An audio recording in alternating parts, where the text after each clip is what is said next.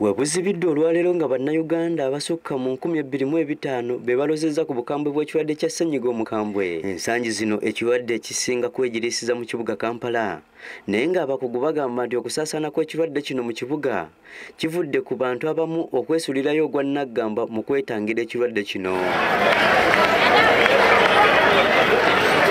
embeera eno yeereetedde abakulu mu minisitule y'ebyobulamu okulowooza ku ky'okukebera bannakampala bonna okumanya baani abatuufu abalina ekirwadde kino basobole okulaba ekiddako. Okusinziira ku mubeezi w'omuteesiteesi omukulu mu minisitule y'ebyobulamu jofule seremba okukebera buli muntu bakyagala nnyo naye ebintu ebyeyambisibwa mu kukebera kati byafuuka byakkekwa ate nga babiseera nnyo. Manyi nti kikulu nnyo okukebera omusaayi oba okutesitinga olwo lwomanye omulwadde ate omanye omulwadde nga bukyali.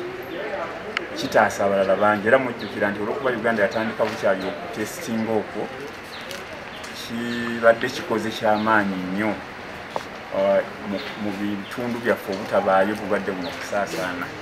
Ekizibu kyokka kikyali nti kits ezikozesebwa mu kutesitinga zonna tetuzifuna ku katale k'ensi yonna nga bwe twandizeetaaze kubanga buli ggwanga lizikola ki naye nga bwe zigenda zeeyongerawo nga tuzifuna ekyokutesitinga kimu ku bintu ebikulu ebikozesebwa mu kulwanyisa ekirwadde ekyekika kinajjukirwa nti gavumenti ezze eteekawo ebiragiro ebirina okugobererwa abantu bonna okusobola okwewala ekirwadde kino.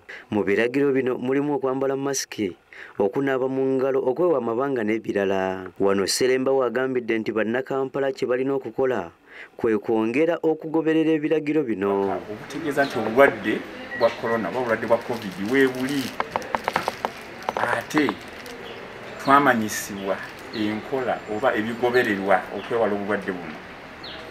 Tubeere banyiikivu mu kubiteeka mu nkola olw'okwewonya n'okuwonya bannaffe. Twetaasi ne bannaffe tubataasi. Buli omu tuleme kulegeza tuleme okulegeza kuba woolegerereza mumanyi nti bagamba nti obwato obufa ki? Bufa magoba. Ono okwogera bino abadde ku kitebe kya minisitule y'ebyobulamu. Aba kampuni ya chams uganda bwe babadde bawaayo bokisi za sabbuuni eziwerako n'ebipande ebiriko obubaka obulaga engeri abantu gye bayinza okwewalamu ekirwadde kya covid-19 era ng'ono ategeeza nti sabbuuni ono bakumuwa abasawo naddala abo abali ku mwanjo mu kujjanjaba ekirwadde kino. Etuukidde ne sabbuuni ono kwokesa abantu bongere okunaba mu ngalo n'olwekyo kyamaanyi nnyo gye tuli era ne mu kulwana kuno okwokulwanyisa obulwadde olw'ensonga nti abantu bwe banaaba ali naddala abasawo abakola abakola ku balwadde kubanga abasawo tebayinza kulekawo balwadde.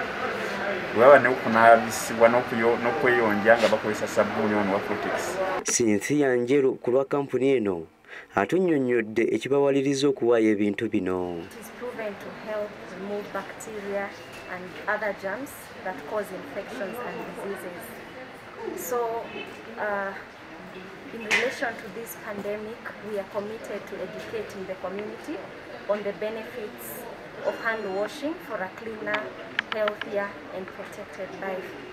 This is why Charms Uganda Limited, which is a part of House of Dauda Group, and the appointed distributor for Cortex Soap, the manufacturer being called the Holy, So in partnership we are donating Cortex soap.